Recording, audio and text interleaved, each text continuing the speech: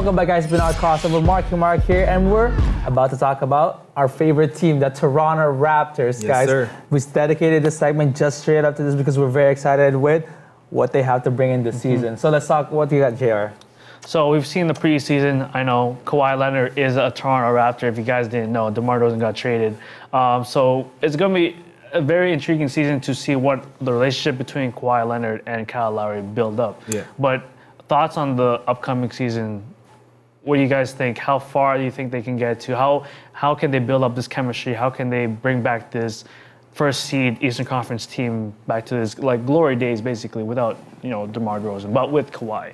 Man, I, I, they're going 60 plus, Mm-hmm. I think, um, and NBA Finals. If if if they don't go to NBA Finals, it's a failed season. Mm-hmm. So far, they look good in preseason. I mean, most of them are rusty. Kawhi's, I say, is playing like maybe 80% of Kawhi. Mm-hmm. But the, uh, I think this is the best team ever assembled.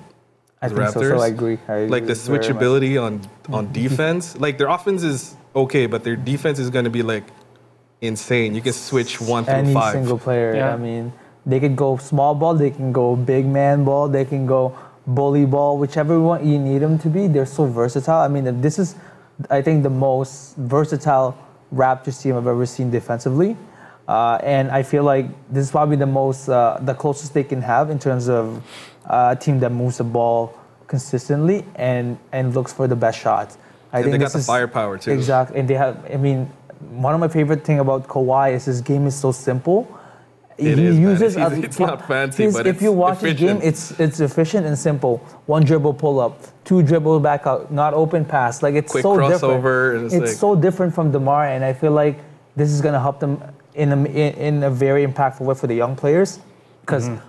OG, uh, Delon, I mean all, I mean Danny Green, Pascal. They, they, they benefit. They, they really play well when you have a player Yeah. that can kind of get them involved and kind of get them moving without having to play that iso basketball. I mean, Demar is a great player. I mean, I, I have. I mean, he's put Toronto on the map because of his play. Just, but the thing is, the style of play that he does, it can kind, it can get stagnant. Yeah, I mean, it yeah. can put a team on eh, on notice. He he does a lot of you know. I, I see a little bit of James Harden in him. Yeah, the way I look at it is like he can score in like with four or five moves, while Kawhi does it in like 2 You know what I mean? It's like Mm-hmm. and with much more efficiency. Yeah. Yeah. Yeah. I mean, and the defense. Kawhi's defense is. I it- mean, that's that's just, best case scenario, he's the best defensive player in the NBA, right? If he's back to 100%, I mean, that's that's my bet too. I don't, I don't think we'll see Kawhi Leonard's MVP type player. L- Maybe Until- down Until maybe half- down half the season. season. Yeah, Yeah. Because He'll need season, so far yeah. preseason, he's gonna be stick to that 80%, 85% so Exactly. far. Especially in the beginning of the season, we're not gonna see him uh, go full out. Maybe because of mentality, he, he he's coming off an injury. He's he's getting his rust off. You know, he's trying to play as much as he can, and then you know, it's, he's trying to adjust the new system too. But what also stands out is that Danny Green is a very good. He's a great shooter, And top shooter. and Good- a defensive good- player. Yeah. good Is that they're like the, He's a the, good the two players yeah. that they traded for DeRozan are like all defensive uh, players. Exactly. and like the, sh- the shooting ability, and then just add it towards their offensive. You know, shoot the three when you got it. You know, and dribble pull up is amazing. Free flow offense. Danny, Danny Green, uh, yeah, offense and defense is amazing. I I, wa- I was watching the game of the day against Brooklyn. Even though this was this was just against Brooklyn Nets, and it's a preseason game, this defensive lineup is crazy. Like Kawhi Leonard, OG Anunoby, Danny Green, Delon Wright, and Serge Ibaka. Maybe add in there Kyle, Kyle Lowry or even Pascal Siakam. But that the best part about that game is like first half they never tried, and then second half they're like, okay, let's, play let's, defense. Let's, try. What what they scored in that quarter? Blowout. Eleven points. and then it blo- they blow it out. Yeah. Even though it was a preseason game, let's keep that in mind. But I mean, that defensive uh, lineup right there, causing turnovers every single possession, and actually trying. Uh, Continuing to convert their scores Yeah. as well, whether it be Danny Green pulling up for a three as soon as they get the ball, Kawhi Leonard dribbling, fast break, and pass to Breaking up Wright passes. amazing. Like and getting trying to get fouls too. So it, it's it's it's great that we have so much people. I mean, we can mix and match all these players Yeah. and have a great lineup, a great five every single possession, like in all minutes of the game. So Yeah. it's I love this team. It's going to be exciting to see what they have going and throughout the season. I can't wait for the start of the season, to be honest. It's next week. It- It's, It's like, I can't wait. This is the most excited. Uh, this is the most I've ever been excited about the Raptors. oh, definitely. Yeah, me too. They have the the pieces that I've always wanted to kind of see the Raptors have because they, I think they had the potential to really beat LeBron.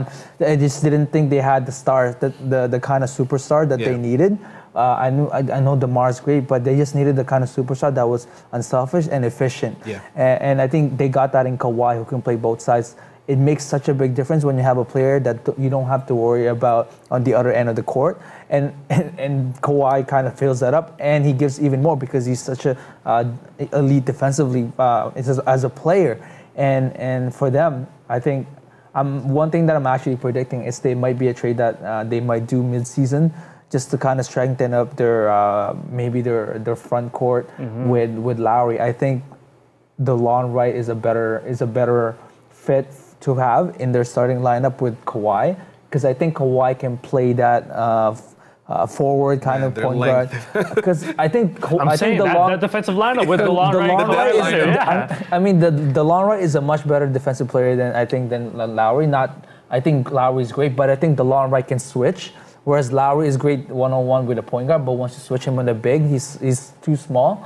And I feel like Delon can kind of Delon's six five too. Lowry's just barely six. yeah.